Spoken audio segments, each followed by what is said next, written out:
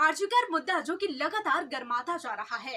आए दिन अलग अलग तस्वीर अलग अलग इलाकों से अलग अलग सड़कों से लगातार सामने आ रही है विरोध प्रदर्शन की, क्योंकि यह हत्या की गुत्थी अभी तक सुलझ नहीं पाई है। यही वजह है कि मामला लगातार गर्माता ही जा रहा है। बीजेपी एक तरफ़ धरना प्रदर्शन कर रही है, दूसरी तरफ़ आम जनता सवाल उठा रही है। डॉक्टर्स भी लगातार विरोध पे विरोध कर रहे हैं, इंसाफ की मांग उठा रहे हैं। और इसी बीच हमारी संवाददाता मधुमिता ने बात की है, बीजेपी के नेता और टॉलीवुड एक्टर रुद्रनील घोष से। जी हाँ क्या आर्जिकर का ये मामले का असर कहीं टॉलीवुड पे भी पड़ रहा है या नहीं? इस मुद्दे पर बात की और साथ ही अन्य कई मुद्दों पर रुद्रनील घोष ने बात की है। चाहे वो अनुव्रत मंडल की रिहाई की बात हो या फिर घाटाल मास्टर प्लान की या फिर पुलिस थाने की शुद्धिकरण की अलग अलग मुद्दों पर उन्होंने बात की है। क्या कुछ इस नेता ने बात की है? इस टॉलीवुड एक्टर ने बात की है? न्यूज़ यूएनआई से। आइए आपको सुनाते हैं।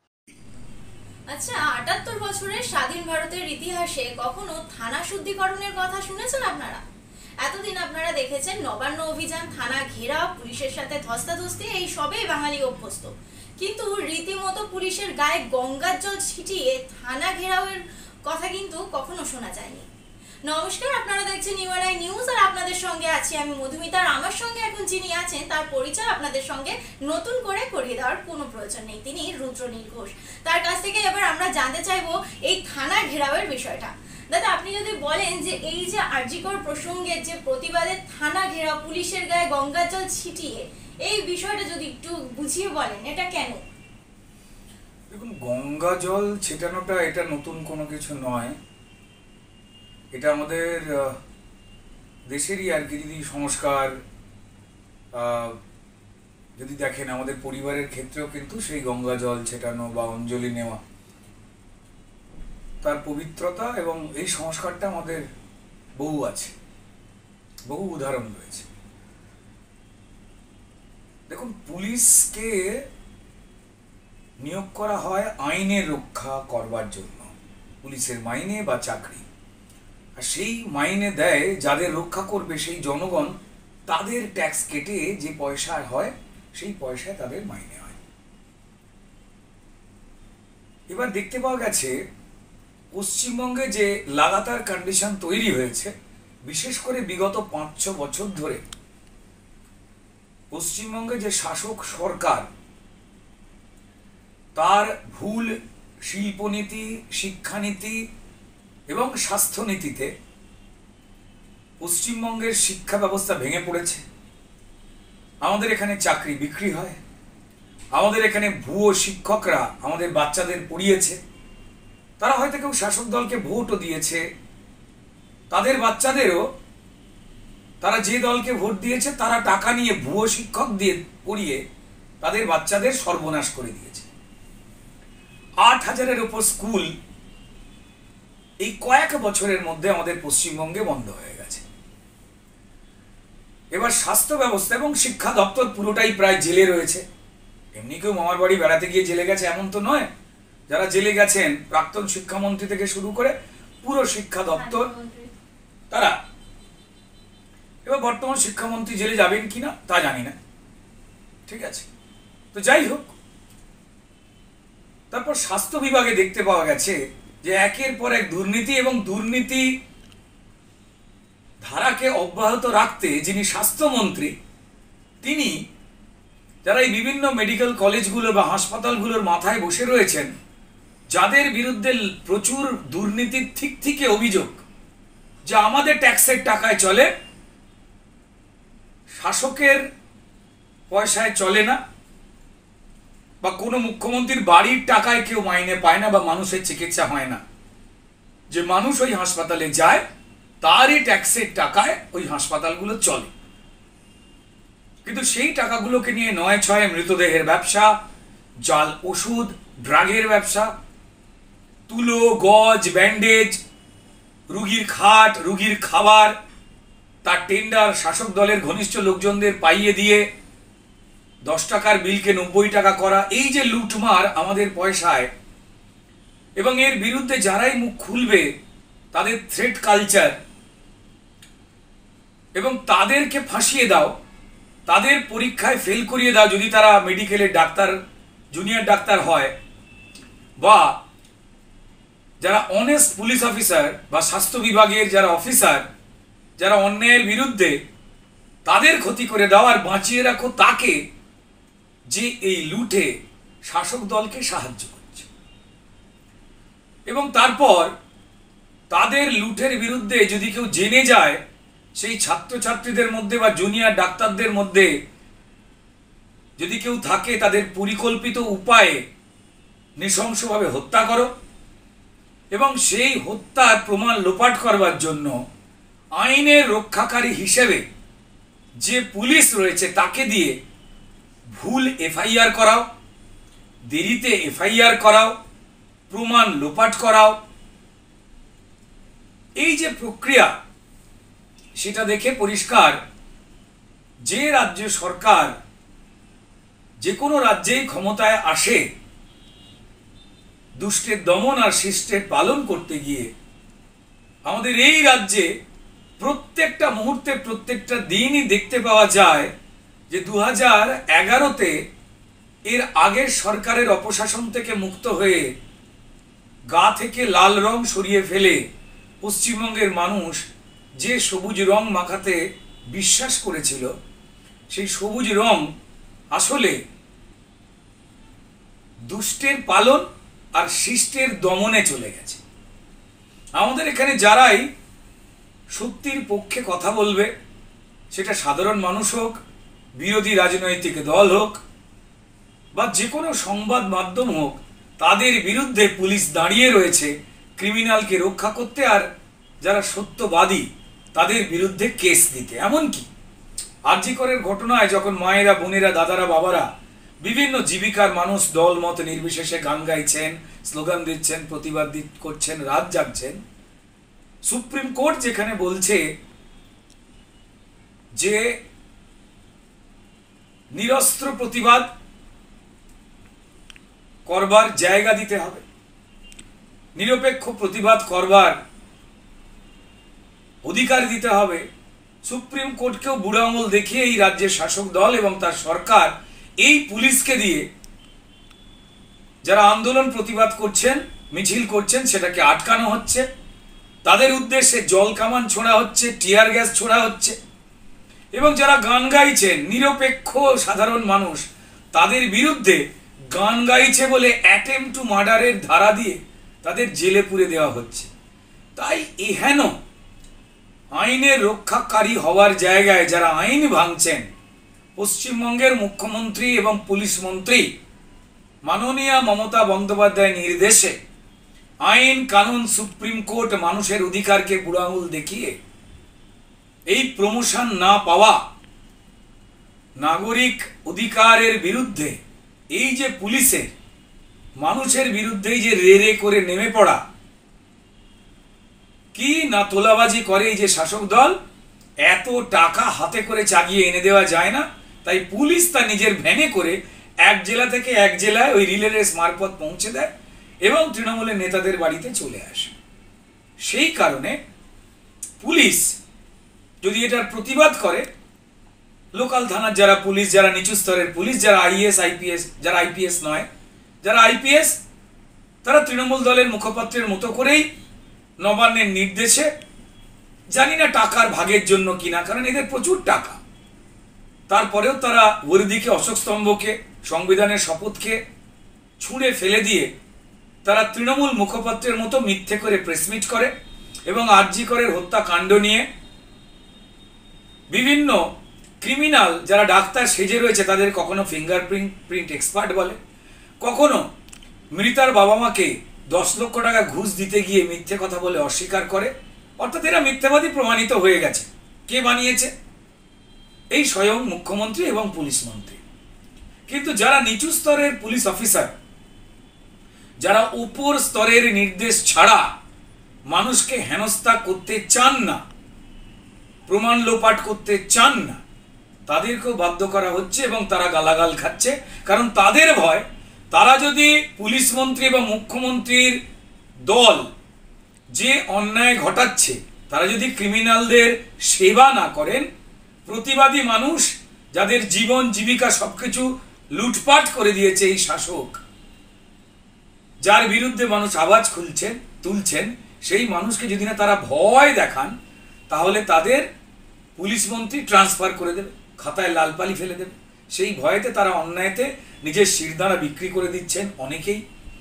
তাই তারা যে অশুদ্ধ হয়েছেন, তাদের যে ডিউটি তাদের প্রতি মানুষের যে শ্রদ্ধা, তাদের দেখে যে মানুষের সংযত হওয়া বা ভয় পাওয়া, তার জায়গায় মানুষ যে তাদের ঘেন্নার চোখে দেখছেন, এটা বড় দূষিত হয়ে যাওয়া, তাই তাদের পবিত্র করবার জন্য এই শুদ্ধিকরণ।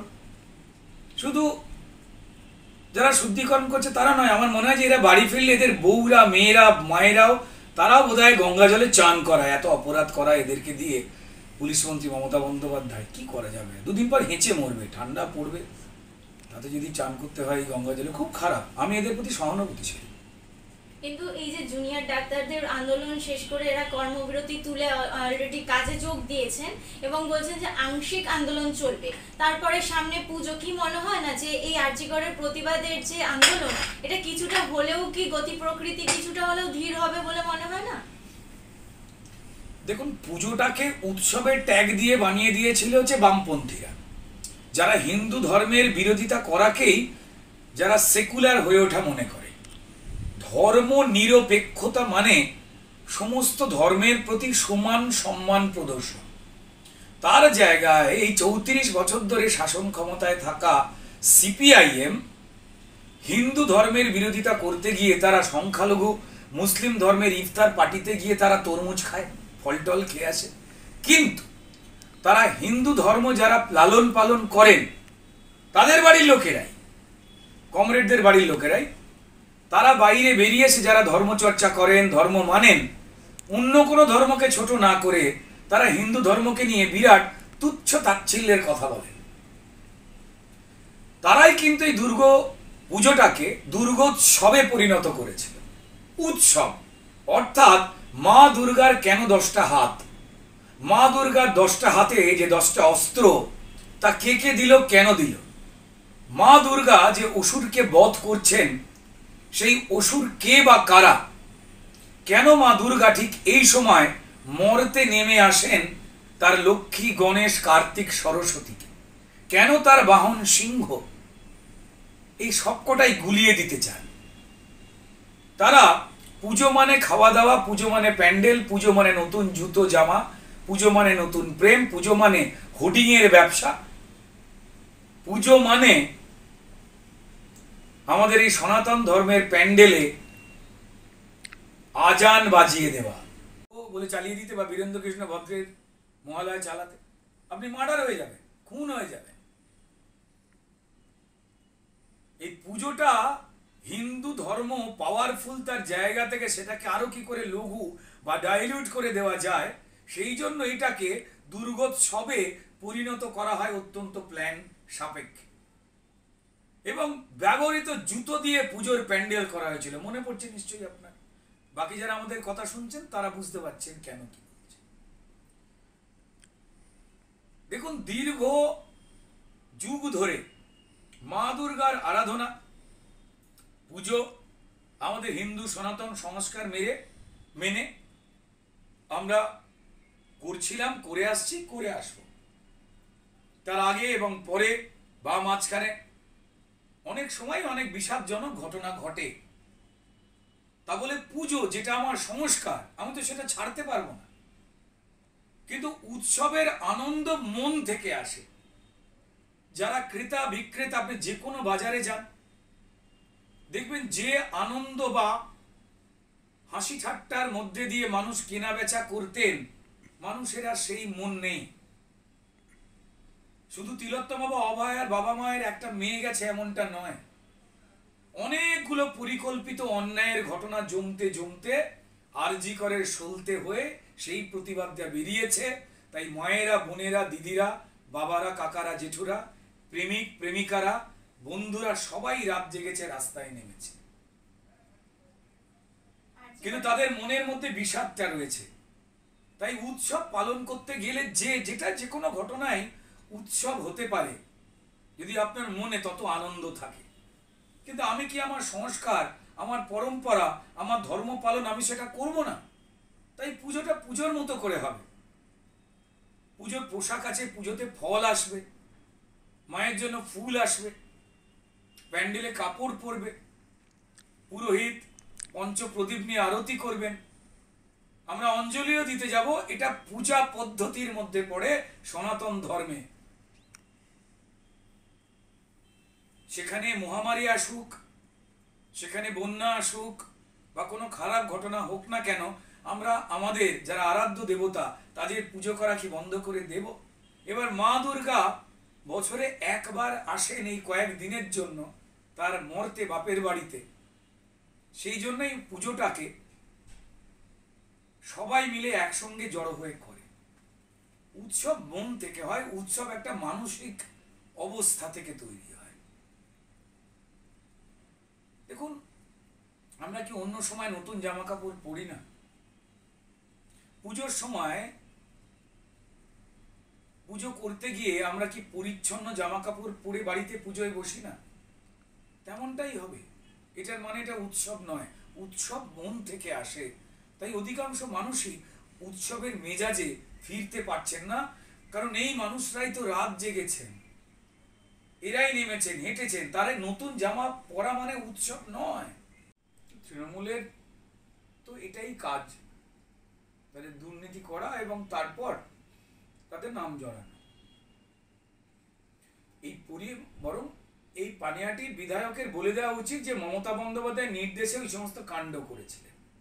তড়িগড়ি দেহটাকে দ্বিতীয়বার জ্বালিয়ে দেওয়া হলো, কারণ ওই শরীরের মধ্যেই কিন্তু লুকিয়ে ছিল তিলোত্তমা বা অভয়ার নিথর শরীরের মধ্যেই লুকিয়ে ছিল যে কতজন তার উপরে অত্যাচার করেছে, তারা পুরুষ না নারী না নারী কজন, পুরুষ কজন? তাকে কি দিয়ে, কি কি ভাবে তাকে হত্যা করা হয়েছে? গলা টিপে, না অস্ত্র দিয়ে মেরে, না অন্য কোনোভাবে মেরে?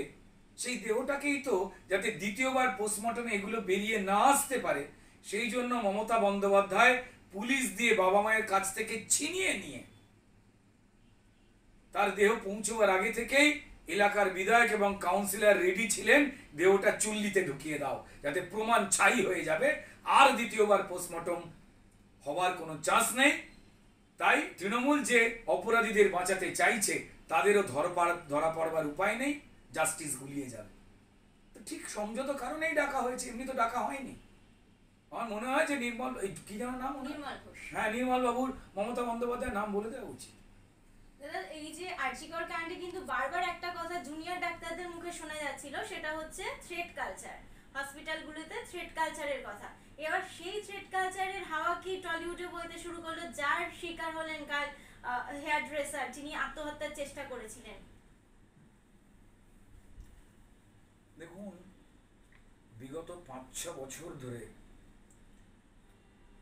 চক্ষু লজ্জাহীন থ্রেড কালচারের মধ্যে দিয়েই পশ্চিমবঙ্গ চলছে। হুমকি, ধমকি, শাসানি, এইটার ইংরাজি নাম হচ্ছে থ্রেট তো হুমকি, ধমকি আর শাসানি পশ্চিমবঙ্গের মানুষের জবে থেকেই সমর্থন হারিয়েছে পশ্চিমবঙ্গের এই সরকার এবং শাসক দল। এই হুমকি, ধমকি, শাসানি, যেটার ইংরাজি মানে হচ্ছে থ্রেট সেই অস্ত্রটাই প্রয়োগ করেছে। ভোট লুট চাল ডাল চাকরি, বাকরি লুট, আবাসের বাড়ি লুট, কেন্দ্র থেকে জল জীবন মিশনের জন্য আসা যে নাগরিক ব্যবস্থা, সেটা লুট, বাচ্চাদের মিড ডে মিল লুট, গরিব মানুষের জন্য কেন্দ্র থেকে ফ্রিতে যে রেশন, সেই চাল ডাল সেটা লুট, পশ্চিমবঙ্গে বন্যা হয়ে গেলেই এই শাসক দল অপেক্ষা করে এইবার ত্রাণ আসবে, চাল আসবে, ডাল আসবে, ত্রিপল আসবে, লুট। তার বিরুদ্ধে কথা বললেই সাধারণ মানুষ বা বিরোধী রাজনৈতিক দল, বিজেপি বা অন্য যে কেউ বা নিরপেক্ষ মিডিয়া। তাদের তো এই হুমকি, ধমকি, শাসানিতেই পড়তে হয়। পুলিশকে তো ব্যবহার করা হয় ওই কাজেতেই। এইটারই ইংরেজি নাম, জুনিয়র ডাক্তাররা বলেছে থ্রেড কালচার নতুন কিছু নয়, তারা ইংরেজিতে বলেছে। এ তো সব জীবিকাতেই পশ্চিমবঙ্গে যখন আপনি মানুষের ভোট আর পাবেন না, ভয় না দেখালেই, তখনই তো হুমকি, ধমকি, শাসানি মানুষকে ভয় দেখানো বা এই থ্রেড কালচার সর্বত্র ছড়িয়ে দেওয়া। এ তো সমাজের সর্বস্তরে সব জায়গায় যেখানে তৃণমূল থাকে, সেইখানেই এই কালচারটাকে পুলিশের সাহায্যে এই ক্রাইমটাকে বেড়ে উঠতে বিরাট সাহায্য করেন পুলিশ মন্ত্রী তথা মুখ্যমন্ত্রী মমতা বন্দ্যোপাধ্যায়। তাই টলিউডে এটা চার পাঁচ বছর ধরে, ছ বছর ধরে সমাজের অন্যান্য স্তরে যেটা হয় ঠিক তেমনই টলিউডের হয়। আপনারা কি জানেন যে এর আগে প্রচুর শিল্পী এবং টেকনিশিয়ান মমতা বন্দ্যোপাধ্যায়ের আশীর্বাদ ধন্য ওই আর্যিকরের মতোই প্রচুর সন্দীপ ঘোষ আছে টলিউডে। যারা এই থ্রেড কালচারের জনক এবং তাদের দ্বারাই টলিউডে আর্টিস্ট এবং টেকনিশিয়ান বা পরিচালকরা কে কবে কাজ করবে বা কাজ চলে যাবে, স্টুডিও স্ট্রাইক করিয়ে দেওয়া হবে, কার্পেটের ভাত কেড়ে নেওয়া হবে। আরজি করে যেমন সন্দীপ ঘোষেরা মমতা বন্দ্যোপাধ্যায়ের আশীর্বাদে প্রাণে মেরেছিল, এই তিলোত্তমা বা অভয়াকে, ঠিক তেমন টলিউডে এরা পাতে মারে বা পেটে মারে এই টলিউডের সন্দীপ ঘোষেরা। এই ঘটনা নতুন নয়, টলিউডের আশপাশে প্রচুর প্রতিবাদী সত্যি কথাবার্তা বলা, সেটা সমাজে ঘটুক বা টলিউডের ভেতরে ঘটুক, আপনি আলোচনা করতে পারবেন না। যে পশ্চিমবঙ্গে যা হচ্ছে খারাপ হচ্ছে, বা টলিউডে যা হলো খারাপ হলো। হলেই আপনি শিল্পী হোক বা টেকনিশিয়ান হোক, আপনার কাজ কেড়ে নেওয়া হবে। যেমন আমাদের এই হেয়ার ড্রেসার দিদিটার কাজ কেড়ে নেওয়া হয়েছে মাসের পর মাস, এবং তিনি খালি পেটে জীবনযাপন চালাতে ব্যর্থ হয়ে গিয়ে ধার দেনায় পড়ে গেছিলেন এবং তারপরেও হাত জড়ো করাতেও তার কাজ কেড়ে নেওয়া হয়েছে এবং তারপর তিনি আত্মহননের পথ দুর্ভাগ্যজনকভাবে বেছে নেন এবং ঈশ্বরের অপার করুণা যে তার চিৎকারে পরিবারের লোকজন ছুটে আসে এবং তিনি বেঁচে গেছেন। এই থ্রেড কালচারের পাল্লায় পড়ে টলিগঞ্জের প্রচুর টেকনিশিয়ান এই টলিগঞ্জ এরিয়ায় কতজন আলু পটল বিক্রি করছে, কতজন হকার হয়ে গেছে, সেই খবর আপনারা জানেন? এই মুহূর্তে যে রুদ্রনীল ঘোষের সঙ্গে কথা বলছেন, শুধু আমি একা নয়, শাসক দলের বিরুদ্ধে তাদের দুর্নীতি অন্যায় মেনে নিয়নি বলে, তাদের থেকে বেরিয়ে এসেছে বলে কত মানুষকে জীবিকা হারাতে হয়েছে আপনারা জানেন? দীর্ঘ চার বছর ধরে আমি মাত্র চার মাস শুটিং করেছি কলকাতায়, টলিউডে। চার বারো আটচল্লিশ মাসের মধ্যে চার মাস শুটিং করেছি। তাই আমার অত সিনেমা দেখতে পাওয়া যায় না। আমাকে নিলে প্রযোজক, পরিচালক বা আমাদের নিলে, যারা এই সত্যি কথা বলে, শুধু আমি না, তাদের নিলে প্রযোজক, পরিচালকদের উপরে থ্রেট তাদের নিলে সরকারি সিনেমা হল, নন্দন বা তৃণমূলের ক্ষমতাবান এমএলএ, এমপি বা মন্ত্রীদের এলাকার বেসরকারি সিনেমা হল, সেখানে ওই সিনেমা চলতে দেওয়া হবে না। আর সিনেমা হলে সিনেমা চলেই সিনেমাতে যে টাকাটা খরচ হয়, সেটা উঠে আসে। তাই আমাকে নিলে তারাও বিপদে পড়ে যাবেন। সিনেমা হল পাবেন না বা তাদের বিভিন্ন মিথ্যে পুলিশ কেস দিয়ে দেওয়া হবে। সেই কারণে তারা আমার ব্যক্তিগত বন্ধু হলেও, যোগাযোগ করলেও তারা আমায় কাজে নিতে পারেন। আমি দুটো বড় কাজ করেছি মাত্র চার বছর। একটা অজয় দেবগনের সঙ্গে ময়দান সিনেমাটা, আর একটা কে কে মেনানের সঙ্গে শেখার হোমস বলে ওয়েব সিরিজটা। তাহলে কাজ করেছি আমি কতদিন? আমার এই পুরনো কাজ করে জমা যা টাকা, বা এই কটা কাজ করে যা টাকা পয়সা পেয়েছিলাম, সেটা দিয়েই চলছে। এবার আমি চালিয়ে যাচ্ছি কষ্ট করে। এটা তৃণমূলের পলিসি এই থ্রেড কালচারে যে পেটের ভাত কেড়ে নাও তাহলে পেটে খাবার না থাকলে গলার জোর কমে যাবে তাহলে মুখ খোলা বন্ধ হবে। কিন্তু তৃণমূলের সিলেবাসে তো সব মানুষ চলে না। তাই আমার পেটে মনে আসছে যে টলিউডেও কি এবার আরেকটা এরকম আন্দোলন হতে পারে? এই যে তিলোত্তমার জন্য যেভাবে বিচারের দাবিতে সবাই পথে নেমেছে এরকম আরেকটা আন্দোলন কি টলিউডেও তৈরি হচ্ছে আস্তে আস্তে? তাদের কি ধৈর্যের বাদ ভাঙছে? দেখুন টলিউড টলিউডের আন্দোলন। কি হয় না, সেটা হচ্ছে হাসপাতাল এবং ডাক্তার বাবুদের মানুষ ভগবানের পরেই দেখে, এটা খেয়াল রাখবে অভিনেতা, অভিনেত্রী এন্টারটেনমেন্ট জগৎ। পশ্চিমবঙ্গের মানুষ, শিল্পী, লেখক, কবি, এই ধরনের যে কোনো মানুষকে তারা খুব ভালোবাসে। কিন্তু তারা লাইফে এসেনশিয়াল নন ডাক্তারদের মতো। তাই ডাক্তারদের সঙ্গে যে বিপদটা, যেভাবে ডাক্তার বোনটাকে মেরে ফেলা হলো, তার পক্ষে অনেক মানুষের জন্য যে পুরনো জমে থাকা ক্ষোভ ছিল, আরও অন্যান্য ঘটনায়। যেমন হাঁসখালির একটা পনেরো ষোলো বছরের একটা মেয়েকে তৃণমূল উপপ্রধান যে নেতা তার ছেলে শারীরিক নির্যাতন করে মেরে ফেলল এবং পুড়িয়ে দিল dead body without death certificate আর মমতা বন্দ্যোপাধ্যায় সেই মৃত্যু নিয়ে দুর্ভাগ্যজনকভাবে নিজে একজন মহিলা মুখ্যমন্ত্রী হয়ে সরকারি মঞ্চ থেকে বললেন, মেয়েটার চরিত্র নাকি গন্ডগোল ছিল। চরিত্র হননি করলেন। বললেন হয়তো মেয়েটি প্রেগনেন্ট ছিল। বললেন, ওদের মধ্যে ভাব, ভালোবাসা ছিল। হালকা করে দিয়ে ছোট করে দিলেন মেয়েটা। সেই দিন তো পুরো বাংলা মায়েরা, বোনেরা কেউ রাত জাগেনি। তারা কি তাহলে অন্যায়টা মেনে নিয়েছিলেন? না। সহ্যের একটা বাঁধ থাকে, হাঁসখালিটা ছিল সেই ধৈর্যের বাঁধটা, আর আরজিকরের ঘটনাটা ছিল সলতেটা। আরজিকর কোন একটি ঘটনা নয়, সব ঘটনার সলতে ক্ষোভের বারুদ জমা ছিল বদলটা চাই বলতে। তাই মায়েরা, বোনেরা, দাদারা, প্রেমিকেরা, বন্ধুরা, নারী পুরুষ নির্বিশেষে রাজনীতি, দল, ঝান্ডা, পেশা, বয়স নির্বিশেষে মানুষ রাত জেগেছেন আর শাসক ভয় পেয়েছে।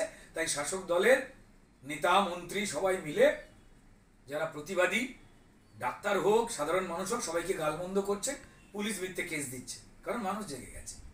টলিউডেও এই পরিকল্পনাটা চলছে। আজকে আমরা যখন কথা বলছি, এই সময় ডিরেক্টররা, তারা কিন্তু একটা বড় মিটিং করছেন যে এই থ্রেড কালচার কে কাজ করবে আর করবে না, এই টলিউডের সন্দীপ ঘোষদের তাড়াতে হবে। কিন্তু আবার বলছি যে, ডাক্তাররা একজন মানুষের কাছে যতটা বেশি ভরসার, তার কারণ প্রাণ। তারা প্রাণের কাছাকাছি থাকে।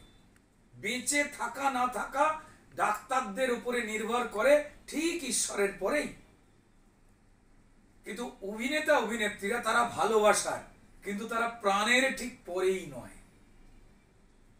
তাই টলিউডের এই ঘটনা একই ধরনের ঘটনারই বার্তাবহ। থ্রেড কালচারে পড়ে যোগ্যতায় এখানে কেউ কাজ পায় না।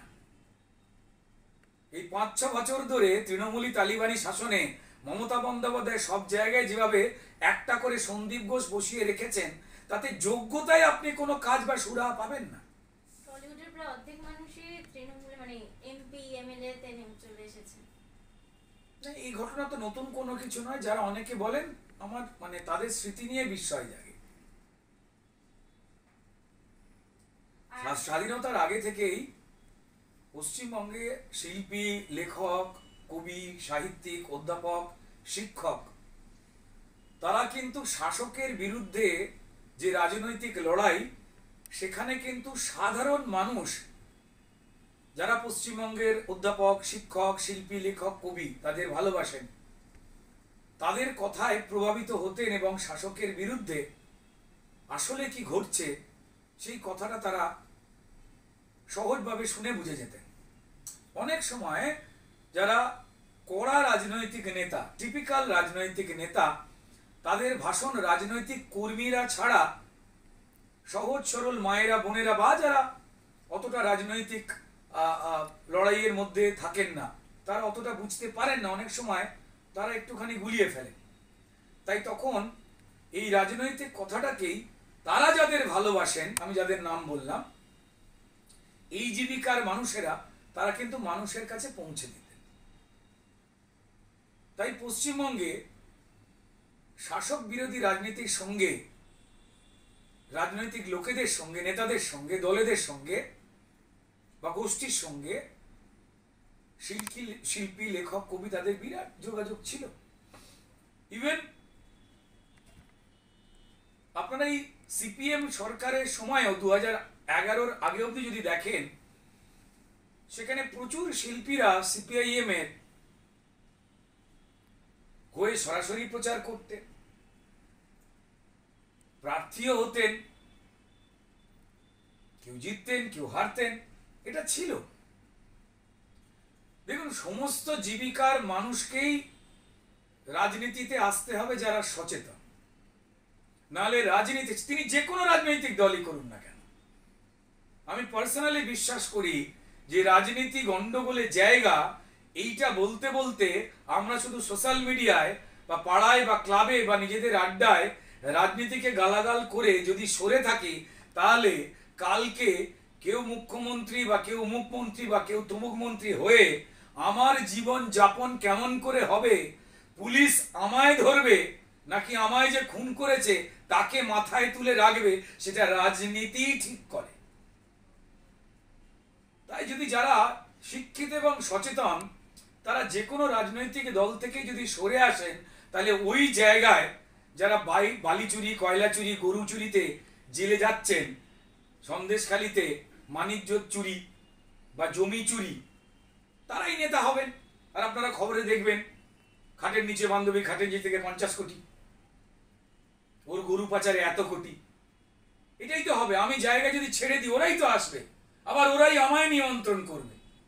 তাহলে এরম জনগণ, আমি হয়ে খালি গালমন্দ করব, আর আমি যাচ্ছি না বলে আমায় নিয়ন্ত্রণ করবার জন্য কিছু খারাপ লোক ঢুকে পড়বে, তাহলে আমি আমায় নিয়ন্ত্রণ করার ক্ষমতাটা নিজেই তো দূরে সরে থেকে খারাপ লোকেদের হাতে তুলে দিচ্ছি। সে যে রাজনৈতিক দল হোক না কেন। তাই সচেতন, শিক্ষিত মানুষদের রাজনীতিতে আসতেই হবে যে কোনো প্রফেশন থেকে। আর যে কোনো প্রফেশন থেকে এলে কোনো অসুবিধে নেই। আর শিল্পীরা এলেই বিরাট অসুবিধে। ওরা রাজনীতির কি বোঝে এমনটা নয়, স্যার। একদম এমনটা নয়। মুশকিলটা হচ্ছে, শুধুমাত্র তৃণমূলকে দেখে লোকে পুরো রাজনীতির মানেটাকে বিচার করে ফেলছেন। তৃণমূল শুধুমাত্র কেউ নিজের সমাজ চিনুক, না চিনুক, শুধু নিজের জীবিকাটা বাদ দিয়ে অন্য মানুষের দুঃখ, কষ্ট বুঝুক, না বুঝুক, তারা শুধু পরিচিত বলে তাদের চেনা মুখটাকে কাজে লাগিয়ে তারা ভোটে জিতে ওই এলাকাতে এক একটা করে শেখ শাহজাহানকে পাঠিয়ে দেয়। এটাই ওদের দলের নিয়ম। সেটা আপনি বসিরহাট বলুন বা যাদবপুর বলুন। যাদবপুর লোকসভা কেন্দ্র অপারেট করে কে? বোমবাদা শওকাত মোল্লা, মুখ্যমন্ত্রী যাকে বলেছিল যেই জিতুক না কেন ওখানে, তৃণমূলের। যেতে তো এই মোল্লা ভাইদের জন্য। কিন্তু এই মোল্লাই, শৌকত মোল্লাকেই মমতা বন্দ্যোপাধ্যায় বলেছিলেন, এই তুই বোম আমি না, উনি বলেছিলেন। তারপর এই বোমবাদা শওকাত মোল্লা ক্রিমিনালকে জেড ক্যাটাগরি নিরাপত্তা দিয়ে ঘিরে রেখে দেন এই মমতা বন্দ্যোপাধ্যায়। নুসরাত জাহান বসিরহাট, যেখানের এমপি ছিলেন। সেখানের এলাকা চালাতো কে? নুসরাত জাহান। তিনি চাইলেও চালাতে পারতেন। যেমন যাদবপুরের সাংসদও চালা চাইলেও চালাতে পারতেন না। তেমন নুসরাত জাহানও চালাতে পারতেন না। তিনি রাজনীতি কতটা জানেন, বোঝেন, ঠিক কথা বলেন না, ভুল কথা বলে ফেলেন, আমি তার মধ্যে যাচ্ছি না। তিনি চাইলেও পারতেন না। কারণ যাদবপুর, এই বসিরহাট লোকসভা মানে সাতটা বিধানসভা অপারেট করত বেতাজ বাদশাহ ওই শেখ শাহজাহান। এবার তৃণমূলকে দেখে যদি বাকিরা রাজনীতিটাকে ভাবে নিরাম তাহলে তারা ভুল করছেন। তৃণমূল ভোটে জিতবার জন্য পরিচিত বা পপুলার মুখ যে ধোঁয়া ধোঁয়া ধোঁয়া বলছে, তাকেও প্রার্থী করছেন, এটা তাদের ইচ্ছা। আর এরম তো লেখা নেই যে এটা আর ওটা না হলে একে প্রার্থী করা যাবে না, তাই সেই সুযোগটা কাজে লাগাচ্ছে। রাজনীতিতে যে কোনো ক্ষেত্রেরই মানুষের আশা, যারা সমাজ সচেতন, তাদের আশাটা দরকার। তিনি শ্রমিক হন, কৃষক হন, শিল্পী হন, ডাক্তার হন, ইঞ্জিনিয়ার হন, ব্যবসায়ী হন, মায়েরা হন, দিদিরা হন, যে কোনো কেউ। না হলে দুর্বৃত্তায়ন বেড়ে যাবে, আর এই দুর্বৃত্তরাই আমাদের মাথায় মন্ত্রী হয়ে, নেতা হয়ে আমাদের অপারেট করবে, আমাদের এমএলএ, এমপি হয়ে আমাদের এদের কড়া শাসন শুনে চলতে হবে। না এটা মানুষের ওপরে তারা নিজেরাই শুধু সমালোচনা করবেন আর রাজনীতিকে গালাগাল করে দেবেন, করে যাবেন, করে এই খারাপ লোকগুলোকেই তাদের জীবনযাপন নিয়ন্ত্রণের সুযোগ করে দেবেন কিনা, এটা মানুষকে ভেবে দেখতে হবে। আপনি জানেন যে ইতিমধ্যেই কিন্তু অনুব্রত মণ্ডল জামিন পেয়েছে এবং তার সঙ্গে কিন্তু আজকে জানা যাচ্ছে যে এই গরু পাচার কাণ্ডে যে আরেকজন গ্রেপ্তার হয়েছিলেন ছিলেন এনামুল হক উনিও কিন্তু জামিন পেয়ে যাচ্ছেন। কি বলবেন? এই যে ঘটনাগুলো পরপর ঘটছে যে জামিন পেয়ে যাচ্ছে এই ঘটনাগুলো কি আবার ধামাচাপা পড়ে যাবে নাকি তদন্ত চলবে এত না এটা সম্পূর্ণ লোকের ভ্রান্ত ধারণা। যারা এই কুণাল ঘোষ ঘোষের মতো লোকেদের ইন্টারভিউ শোনে মন দিয়ে তাদের এইসব ধারণা তৈরি হবে। দেখুন অনুব্রত মন্ডল কত বছর পর বেরোলো? বেশ কয়েক বছর পরে। চোদ্দ মাস মতো। তাহলে প্রায় তিন বছর তাই তো? ঘটনা কি? গরু, পাথর, কয়লা বা বিভিন্ন রকম দুর্নীতিতে তার নাম জড়িয়েছিল বা যাদের যে কোনো কারুর ক্ষেত্রেই ধরে নিই এই অভিযোগ বা মামলা হওয়ার পরে যখন আদালতে বিচার চলে, তদন্ত প্রক্রিয়া চলে, তখন অভিযোগকারী যে পক্ষ এবং অভিযুক্ত যে পক্ষ, এক্ষেত্রে ধরে নিন অনুব্রত মণ্ডল বা এনারা। দু পক্ষেরই লয়ারকে, স্যার, এই যে অভিযোগ উঠে এসেছে, দেখুন, ইনি ধোয়া তুলসী পাতা। যে অভিযোগ করা হচ্ছে, তার পক্ষে কোনো প্রমাণ নেই। এই আমাদের কাগজপত্র, যে আমরা নিষ্কলঙ্ক। কিন্তু যারা অভিযোগ করেছে, তারাও দেখায়, দেখুন, এই হচ্ছে কলঙ্ক বা পাপের নিদর্শন। তখন সম্মানীয় বিচারকেরা তাদেরকে যে পক্ষ কনভিন্স করতে পারবেন, যিনি অভিযুক্ত বা যারা অভিযোগকারী, তাদের পক্ষে তদন্ত চলাকালীন কাকে জেলে আটকে রেখে দেওয়া উচিত, কারণ তিনি প্রভাবশালী যদি হন, তাহলে বাইরে থাকলে বাকি সাক্ষীদের মেরে ফেলতে পারেন বা প্রমাণ লোপাট করে দিতে পারেন। তাই যখন এই ইনভেস্টিগেশন চলছে, তদন্ত প্রক্রিয়া, ততক্ষণ এদের জেলে আটকে রাখলে তদন্তের সুবিধা হবে। তর্ক বিতর্ক লড়াইতে জজ সাহেবকে কনভিন্স করতে হয়, তখন সম্মানীয় হাইকোর্টের জজেরা হয় অভিযোগকারী যারা কমপ্লেন করেছেন তাদের পক্ষে বা যিনি অভিযুক্ত তাদের পক্ষে রায় দেন। এই ক্ষেত্রে যখনই এই ধরনের লোকজন প্রভাবশালী হন এবং সত্যি বাইরে থাকলে তারা প্রমাণ লোপাট করে ফেলতে পারেন এবং যখন দেখা যায় যে প্রাথমিক অভিযোগটা সত্যি, তখন তাদের তদন্ত চলাকালীন কারাগারের মধ্যে রেখে দেওয়া হয়। এক্ষেত্রে অনুব্রত মণ্ডল এবং তারপর তার কন্যা সুকন্যা দেবী, তারা তিহার জেলে বন্দী ছিলেন বা ওই বাকি আর অন্যজনের নাম বলছে এবার এই সময়তে তদন্তকারী সংস্থা যেহেতু এই প্রভাবশালী ব্যক্তি প্রভাব খাটিয়ে প্রমাণ লোপাটার করতে পাচ্ছেন না ইনস্ট্রাকশন দিতে পাচ্ছেন না, জেলে বসে ফোন ব্যবহার করে বা লোকজনের কানে কানে বলে, সেই সময় তারা তদন্ত সেরে ফেলেন। তথ্য, প্রমাণ এবং মানুষ, এইটা জোগাড় করে ফেলেন। এই জোগাড় করার কাজটা একটা নির্দিষ্ট সময়ের মধ্যে শেষ করে ফেলতে হয়, অনন্তকাল ধরে এটা চলতে পারে না। যখন এই তথ্য প্রমাণ কালেকশন বা অনুব্রত মণ্ডল বা অন্যান্যদের জিজ্ঞাসা করা হয়ে যায়, তখন সেই নথি জমা দিতে হয় কোর্টের কাছে। কোর্ট জিজ্ঞেস করে যে, আপনাদের আর তদন্ত করার আছে? এই বিষয়ে তখন তদন্তকারী সংস্থা জানিয়ে দেয় যে, না, এই বিষয়ে আর কিছু জানবার নেই, আমরা সমস্ত করে ফেলেছি। তখন জানতে চাওয়া হয় যে, উনি বাইরে গেলে উনি কি আর তদন্ত বা প্রমাণ লোপাট করতে পারবেন? কারণ সব তো ডেটা কালেক্ট হয়ে গেছে। তখন জানা যায় যে, না, উনি বাইরে ছাড়া পেলেও আর প্রমাণ লোপাট করতে পারবেন না, সবটা পেয়ে গেছি। তখন যিনি অভিযুক্ত পক্ষের লয়ার তিনি শর্ত সাপেক্ষে জামিনের আবেদন করেন।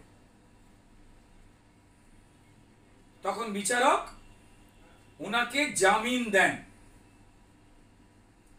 অনুব্রত মণ্ডল বা বাকিরা এখনও মামলা চলছে। এখনও তারা নিষ্কলঙ্ক বা নিরপরাধ প্রমাণ হয়নি। তারা শর্ত সাপেক্ষ জামিনে ছাড়া পেয়েছেন। তারা কোথায় কোথায় যেতে পারবেন নিজের বাড়ি বা নিজের জেলা বা নিজের রাজ্যের বাইরে, সেই বিষয়ে কড়া বিধিনিষেধ রয়েছে। তাই অনুব্রত মণ্ডল বা অন্যেরা তাদের বিরুদ্ধে তথ্য প্রমাণ কালেকশনের যে কাজ সেটা শেষ হয়েছে বলে তারা শর্ত সাপেক্ষ জামিন পেয়েছেন। এরপর বিচারে প্রমাণিত হবে যে উনি বাঘের বাচ্চা নাকি উনি নয়কো সাচ্চা। আমার শেষ প্রশ্ন যেটা, সেটা হচ্ছে ঘাটাল মাস্টার প্ল্যান। আপনি জানেন যে ঘাটালের যিনি সাংসদ, তিনি হচ্ছেন অভিনেতা দেব। তো উনি যখন রাজনীতিতে আপনি জানেন যে গতবার আমাদের যে লোকসভা গেল ভোটটা, তো তখন উনি বলেছিলেন যে উনি রাজনীতি থেকে অব্যাহতি চাইছিলেন। এবং তারপরে আবার এই ঘাটাল মাস্টার প্ল্যানের কথা বলেই কিন্তু উনি আবার লোকসভার ভোটে দাঁড়ালেন। তো তারপরেও ঘাটাল কার্য তো ডিভিসির ছাড়া জলে, এখন বন্যা বিধ্বস্ত জলের নিচে। তো কি বলবেন? এই ঘাটাল মাস্টার প্ল্যান কার্যকর আদৌ হবে কি? কি মনে হচ্ছে আপনার? দেখুন, প্রথম কথা বলি যে ডিভিসি ছাড়া জল যেটা বললেন, সেটা হচ্ছে একটা কথা, সেটা হচ্ছে যে ডিভিসি দামোদর ভ্যালি কর্পোরেশন, যাদের উপরে আমাদের পশ্চিমবঙ্গে রাজ্যের অনেকগুলো জেলাতে বিদ্যুৎ জলে এবং ডিভিসি কখনো পর্যন্তই কোনো রাজ্যের পারমিশন না নিয়ে জল ছাড়তে পারে না না না।